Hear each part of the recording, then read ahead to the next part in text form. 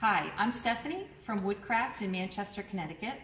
And I'm going, um, we're in the middle of a unicorn spit class here on Saturday. This is a two hour class that I offer in Manchester, uh, learning how all about unicorn spit and how to use it as a stain, how to use it as a paint, and how to use it um, for doing a paint pour. So today what I'm going to demonstrate is to how to use it as a stain. The four colors that I've chosen to use are red, purple, blue, and green. Now it's important before you go to use it to shake it up to make sure it's evenly distributed. This is a water-based product, so um, it washes up easily with soap and water. What I'm gonna do now is I'm gonna apply a little bit of the stain in one spot. A little goes a long way, and I use my fingers and I drag it across the grain, going in the direction of the grain of the wood. I did have one student who asked me about going against the grain and I said, well, I don't typically do that. And so what did he do? He decided to go against the grain and it came out beautiful.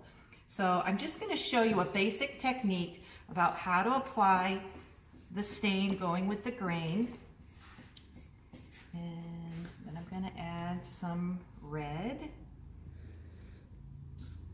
As I said, a little goes a long way. What I try to do is as I apply it with my fingers, I try to cross over the previous color. And next I'm gonna do my purple on the bottom here, just apply a little bit and then use my fingers to pull it across. As I said before, I like to use red oak because it has a very strong grain pattern. You could also use pine or whatever piece of furniture you might have that you're trying to upcycle. This provides a nice color to give it some detail. So I can leave it like that. I would probably add a little bit more color to it to fill in some of those empty spots.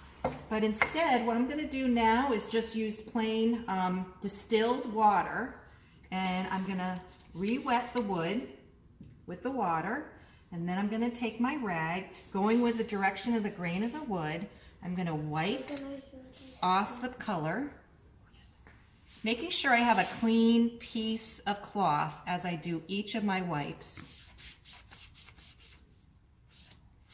Okay, so that's what it would look like if I were to apply it like a stain. So now at this point, what I could do is leave this and let it dry. Then I would put an oil-based top coat on it.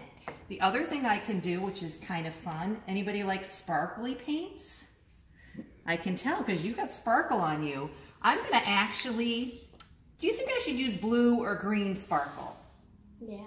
Okay, let me try the blue. Let's try some blue sparkle. Let's see what that's gonna do. So I'm gonna apply my blue sparkle to this whole thing. Same way, I'm using my fingers, going in the direction of the grain. And with the sparkle, I really like to add it over top of other colors because it really adds a nice dimension to the stain. Okay, same thing, I'm gonna use my cloth and I'm gonna just wipe it, just lightly wipe it off.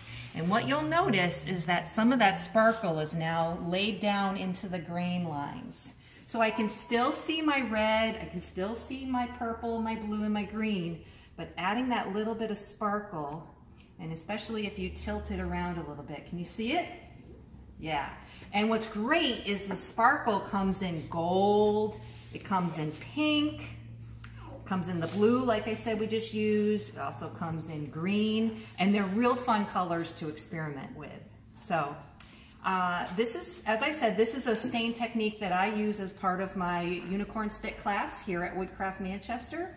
And I do have another class coming up in October on the 21st. It's a Sunday. It's a two-hour class. So if anybody's interested, uh, look onto Woodcraft Manchester Facebook page for details. Thanks for watching.